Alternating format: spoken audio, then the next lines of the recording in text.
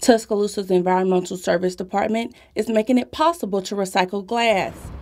Residents can bring their glass recyclables to the facility located on Kauloosa Avenue or drop them off at one of the nine drop off containers around the county.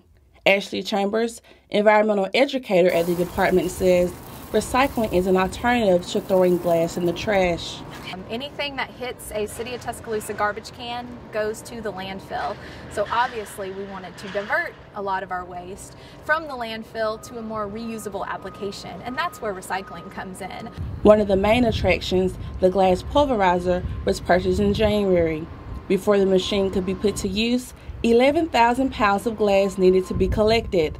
The facility collected more than triple the amount it was asking for. Uh, we collected 40 tons, so 80,000 pounds of recyclable glass uh, we collected. So obviously it went really, really well.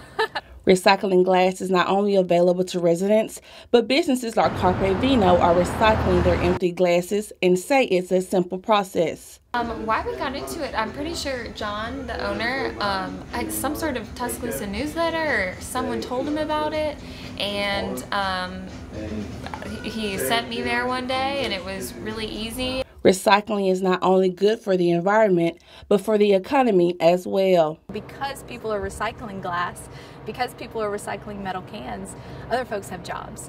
So I think I think not only does recycling serve a need, but it serves a greater good. From Tuscaloosa, Alabama, I'm Breon Palmer reporting.